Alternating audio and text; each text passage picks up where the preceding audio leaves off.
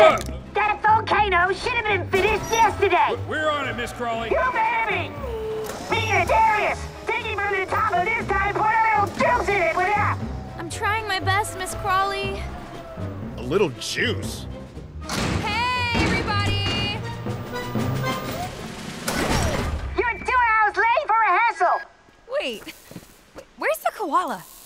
You? I'm in charge, that's who! Now get your tail to wardrobe, sweetheart!